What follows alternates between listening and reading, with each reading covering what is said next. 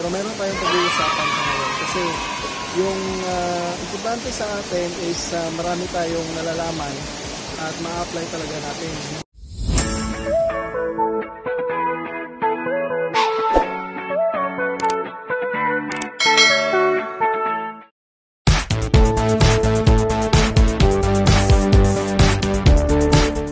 Mga ka-tutor ko, kakain muna tayo.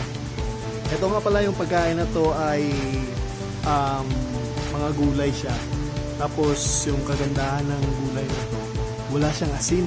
So, sabi nila before, yung mga taong hindi kumakain ng asin ay mga aswang. Pero huwag kayong maniwala doon, hindi totoo yun.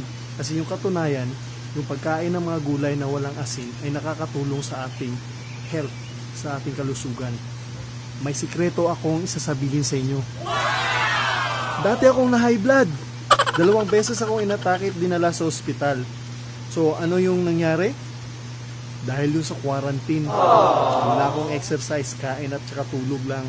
So, nangyari dun was, inatake ako May 1, 2020. Dun sa aming school. Ah, tumaas yung BP ko guys. Umabot siya ng 170 over 100. Pagkatapos nun, ay ah, sumama talaga yung aking pakiramdam. At saka pinilit ko yung sarili kong paniwalaan at sikapin na hindi ako magme-maintenance kasi um, bata pa naman kasi ako eh. Tapos, nung ikalawang atake ng ah, high blood ko, um, July na yun. So, ang ginawa ko lang talaga is iniwan ko yung pagkain o kinalimutan ko yung pagkain na mapagkain na may mga asin. Kasi lumabas sa laboratory ko nga na napakataas ng aking triglycerides. So, yung ginawa ko was um, nag-search ako ng, sa internet at uh, nag-solicit ako ng mga information sa mga doctors doon doon sa YouTube at saka sa mga ibang information doon. Kasi minsan nababahala ako noon kasi sabi nila pag na high blood ka daw kailangan mo nang mag-maintenance. Sabi ko sa sarili ko ayoko mag-maintenance kasi bata-bata ko pa eh. Tapos yung um, yung idea na yon na pag may maintenance sinika po talaga na uh, alamin kung anong mga bagay na yun. Pumunta ako ng uh, internet at saka nag-search ako ng information ukol doon.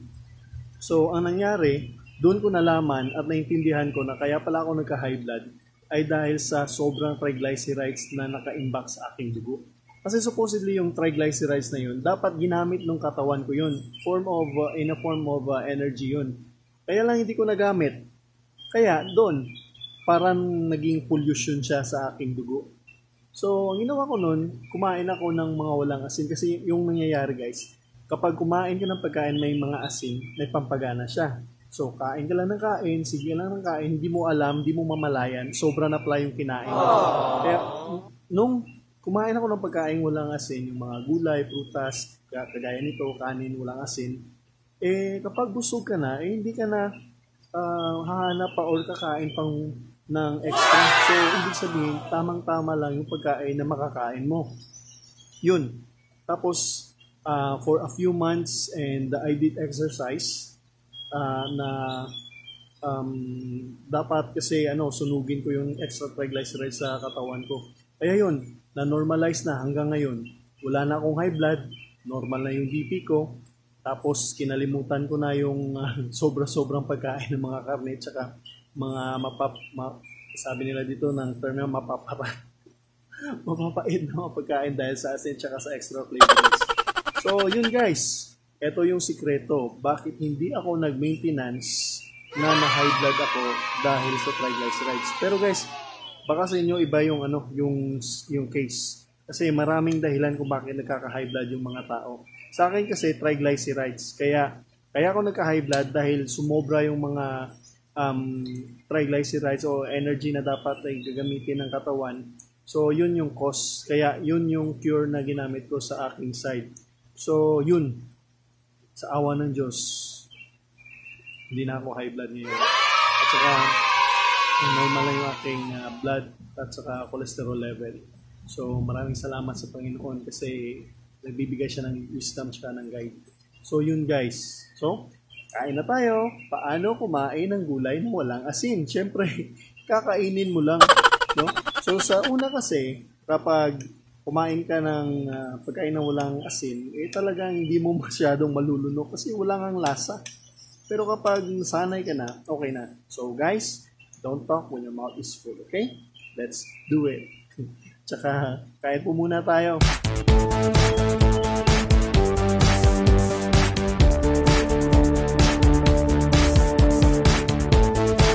So nga pala guys, yung rice na kinakain ko ngayon, ginagrow lang yan dyan sa pala, palayan banda dun. So, ito kasi yung rice na kinakain ko. Yung nagtatanim, yung aking, ano, ginan magtawag doon. Kasi dito sa ilong ugangan yun eh. Kumbaga yung um, tatay ng asawa ko, siya yung nagtatanim ng palay dito sa kanilang palayan. Tapos, hindi siya nag apply ng mga spray. Kasi, ano, ah, yung principle niya is ah, hindi niya gustong malagyan ng mga chemicals dito yung mga rice. Tapos guys, ang mga bayaw ko dito ay naging vegetarian sila. So, itong yung ano, yung reason why maraming mga tanim dito. Kasi sila na mismo yung nagpapatubo ng kanilang mga pagkain dito. So yun, magandang ideya at advantage sa aking part nung nagkasakit ako kasi maraming supply ng fresh vegetables.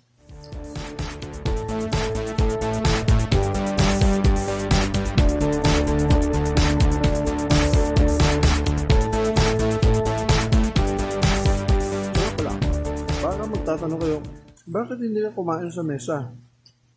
Dito sa bukid, kahit saan ka kumain, pwede. Kahit sa ilalim ng puno, kahit saan. Kasi mas ma-enjoy mo talaga yung pagkain, lalo nang komportable ka. Kasi dito, sa bintana, kikita mo yung view dito sa labas, okay. It's live compare dun sa ibang mga nakita ko na kumakain sila sa kanilang mesa, yung makikita nilang view is uh, mga picture. Picture sa dingding. Eh, ito live. Mas maganda dito.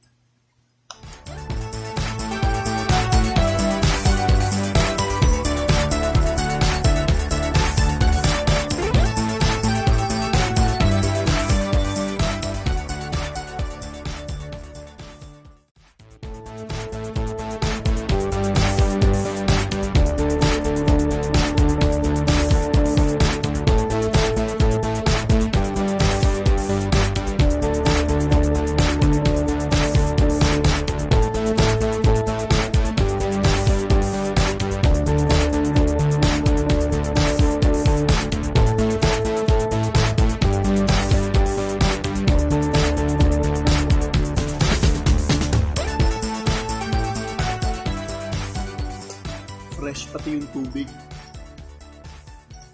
Galing balon.